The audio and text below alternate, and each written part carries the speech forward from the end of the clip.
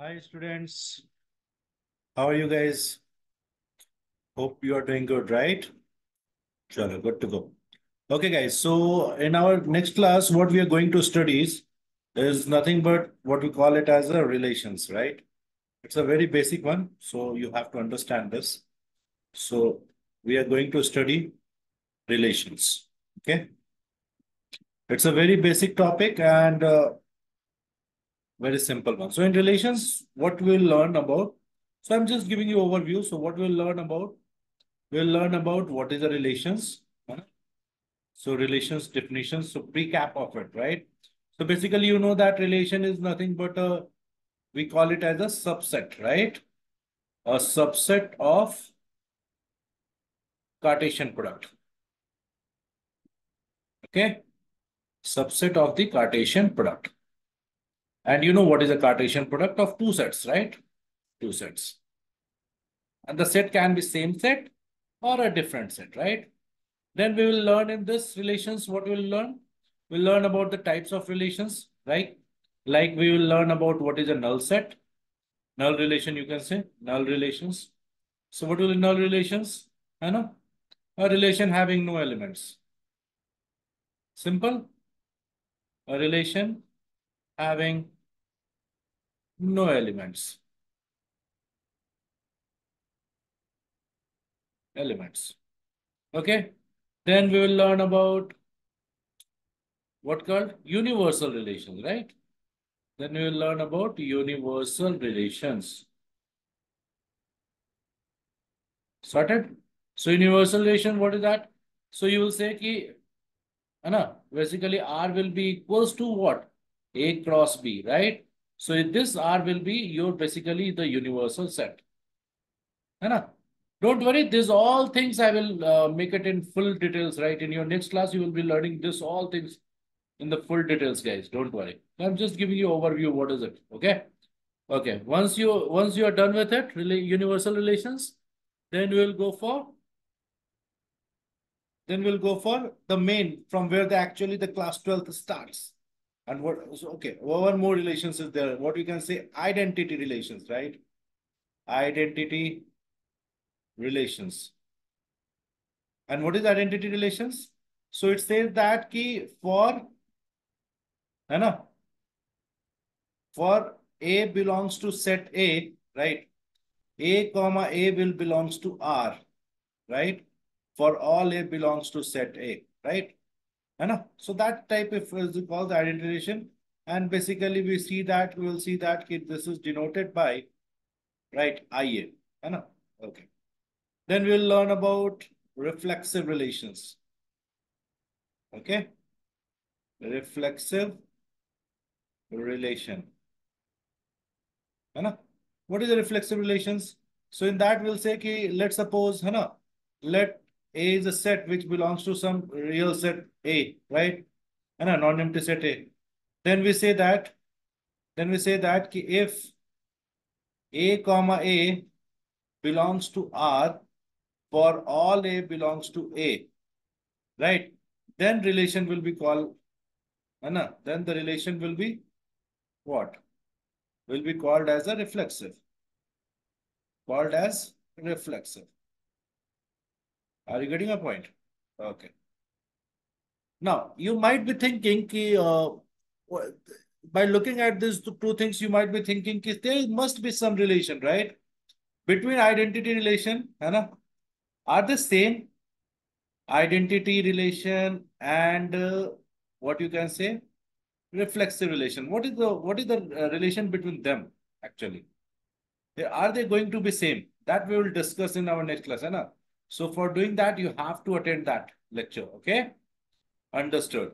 Then we'll go for the symmetric one right? Then we'll go for the symmetric relations. In symmetric relation, we will learn that let's suppose we have two element, A comma B belongs to some set A, right? And let's suppose there is one, so now say that if, if A comma B belongs to R, right? On A cross A, basically, I'm talking about this, right? Then, then B comma A right? Then B comma A must belongs to R, right? For relations to become symmetric. To be symmetric, as simple as that. Right? Are you getting a point? Yes? Okay. So, and the third and the best one is basically your transitive relation. Transitive relation. What is the transitive relations? Have you ever heard about it? Of course not, right? So basically what does it say? Here, basically we will deal with three, you know, three elements, right? Let's suppose that is belongs to set A. So what says ki if A comma B belongs to R, remember this word guys, and very, very important, and, right? And B comma C belongs to R, then this implies A comma C also belongs to R, right? Then you will say that relation is transitive. Relation is transitive. Are you getting a point? Okay.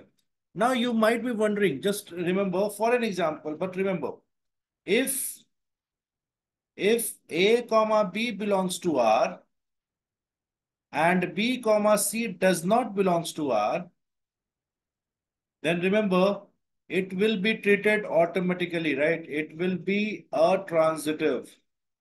It will be a transitive relation automatically, right? So what you understood in that, if first relation is there, right? And second relation is, second is not present in the relation. Then the third one automatically did not to check it. Ultimately, it will be a transitive relations, right? Okay. And the third and the fourth last one, we call it as an equivalence relation, guys, right? What call it as a equivalence relation. So what is equivalence relation? It says that a relation, a relation which follows which follows all the three properties, right? All the three properties of a relation, all the three properties of relations, namely reflexive, right? Namely reflexive, then symmetric, okay, and transitive. Right?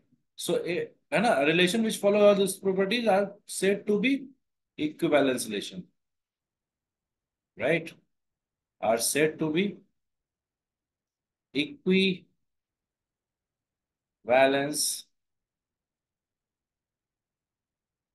relation. I got my point, right? So basically this, if you understand this, Anna, you have to understand that these are the types of relations, Anna, normally, okay? And uh, once you know that, these are the types of relations basically, right? Uh, what are the types of relations that we have seen? So basically we'll see that, okay? Basically we'll see that uh, in our upcoming classes, okay? In that, we will discuss in much more details. We'll take some examples, right? You will get to know what is it. And basically the relations between the identity relations as well as reflexive, are they same? Are every time those things are same, right? And once we are done with it, we will, uh, now after that, we'll proceed to equivalence class and all guys, right? So for that, you have to be there, right? Anna, you have to be there in the class and finally we will be uh, going through all those relations part of it. Okay. Any doubt? Any questions? Chalo. Good to go then. See you in the class, guys. Bye-bye. Take care. Have a good day.